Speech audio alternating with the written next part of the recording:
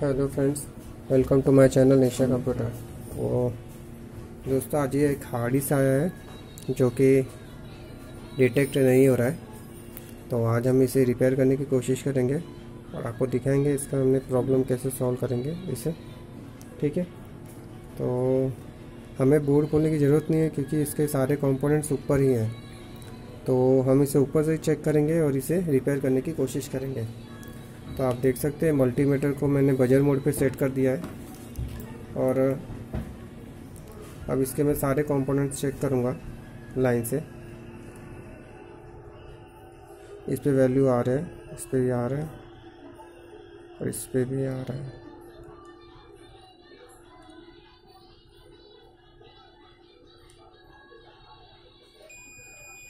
तो ये फ्यूज़ है दोस्तों, इसलिए इस पे भी पा रहा है। ये कैपेसिटर भी शॉर्ट दिखा रहा है। मोहर भी देख लेते हैं। इस पर भी बी पा रहा है बट इस पर वैल्यू आ रही है तो ये ओके है, ठीक है? तो हम इसे नहीं निकालेंगे।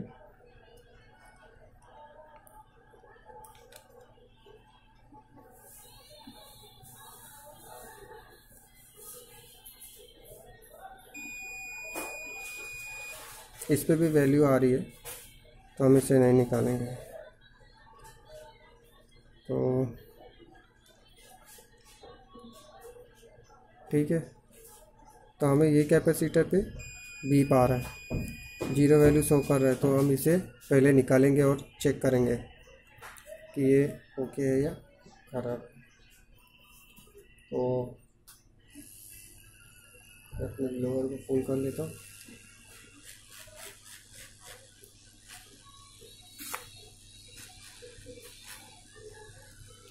तो ये अब हीट हो चुका है और हम इसे अब निकाल देंगे। ठीक है, ये निकल चुका है। और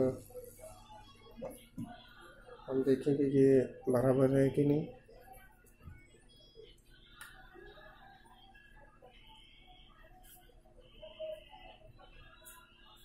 गाइस यहाँ पे अभी कोई भी इप नहीं आ रही है तो इसका मतलब कैपेसिटर शायद शॉर्ट है तो हम इसे भी एक बार चेक करेंगे। तो ठीक है, कैपेसिटर पे बीप आ रहा है और वैल्यू आके जा रहा है। ये देखिए, ठीक है तो ये कैपेसिटर हमारा शॉर्ट हो गया है तो हम इसे हटा देंगे और इसके पहले कोई दूसरा छोटा कैपेसिटर लेंगे, या नहीं भी लगाएँगे तो भी चलेगा, लेकिन हम एक कैपेसिटर ले लेंगे किसी मदरबोर्ड से, छोटा सा, इसी साइज़ का।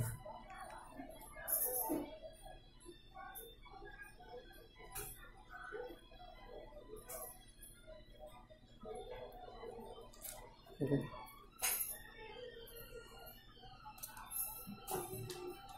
तो मैंने अपने मदरबोर्ड से कैपेसिटर ले रहा हूँ। ठीक है?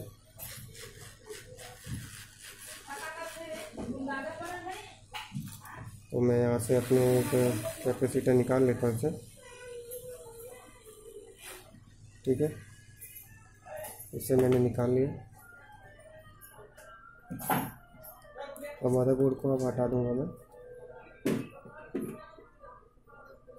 तो ये देख सकते हैं, ये छोटा सा कैपेसिटर निकाला है मैंने। और अब हम इसे चेक करेंगे कि ओके ये ख़राब है, क्या है। तो इस पर कोई बीप साउंड नहीं है। ठीक है फ्रेंड्स तो ये ओके है। तो हम इसे फिट कर देंगे यहाँ पे। ठीक है? तो मैं फिर से अपना लोअर पाँच कर और अब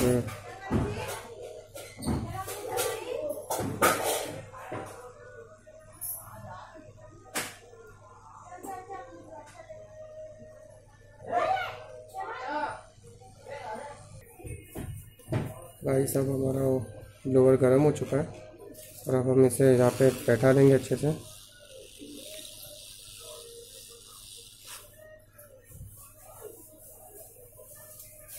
ठीक है तो ये यहाँ पे अच्छे से बैठ गया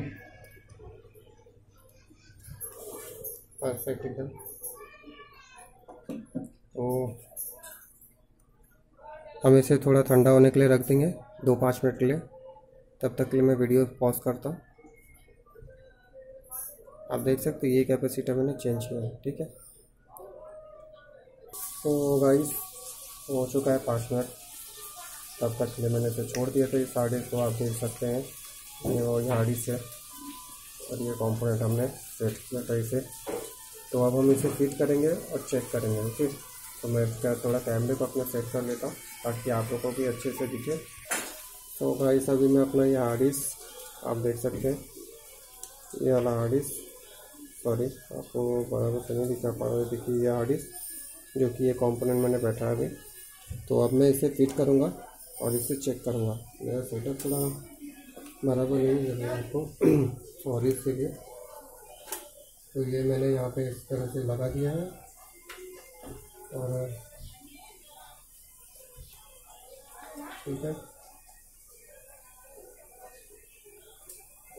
इससे मैंने कनेक्ट कर दिया और अब मैं पीसी को चालू कर दूँगा। देख सकते हैं हमने वही हार्ड डिस्क लगाया है। और अभी पीसी को चालू कर दिया मैंने। आप यहाँ पे देख सकते हैं। विंडोज़ ऑन हो चुका है।